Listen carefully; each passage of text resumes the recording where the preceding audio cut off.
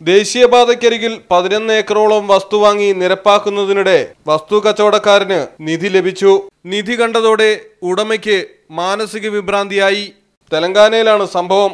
ജംഗവോൺ ജില്ലയിലെ പെമ്പാർത്തി ഗ്രാമത്തിലെ വാറങ്കൽ ഹൈദരാബാദ് ദേശീയപാതയ്ക്ക് സമീപത്താണ് നിധി കണ്ടെത്തിയത്. യന്ത്രങ്ങൾ ഉപയോഗിച്ച് കുന്നിടിക്കവെയാണ് ഒരു പഴയ മൺകുടം ഉടഞ്ഞ നിലയിൽ നരസിംഹലു കാണുന്നത് കുടം നിറയെ സ്വർണം വെള്ളി ആഭരണങ്ങൾ. എന്നാൽ സംഭവം അറിഞ്ഞ് ഓടിക്കൂടിയ ഗ്രാമീണർ ഇത് വിഗ്രഹങ്ങൾ അലങ്കരിക്കാൻ ഉപയോഗിച്ചിരുന്ന പുരാതന ആഭരണങ്ങളാണെന്ന് തിരിച്ചറിയുകയും പ്രാർത്ഥന ആരംഭിക്കുകയും ചെയ്തു. ആഭരണങ്ങൾ ക്ഷേത്രത്തിലെ ദേവിയുടേതാണെന്ന് വിശ്വസിച്ച് കരിക്ക് നേതിച്ച് ചന്ദനത്തിരികൾ കത്തിച്ച് ദേവപ്രീതി നടത്തുകയും ചെയ്തു. സർക്കാർ ഉദ്യോഗസ്ഥരെത്തി പരിശോധന നടത്തിയപ്പോൾ ഒന്ന് ദശാംശം ഏഴ് രണ്ട് ഏഴ് കിലോഗ്രാം ഭാരമുള്ള വെള്ളി ആഭരണങ്ങളും നൂറ്റി എൺപത്തി ഏഴ് ദശാംശം നാല് അഞ്ച് ഗ്രാം സ്വർണാഭരണങ്ങളും കൂടത്തിലുണ്ടെന്ന് കണ്ടെത്തി. എന്നാൽ ഈ അമൂല്യനിധി ഭൂവുടമയ്ക്ക് നിയമപ്രകാരം സ്വന്തമാക്കാൻ കഴിയില്ല.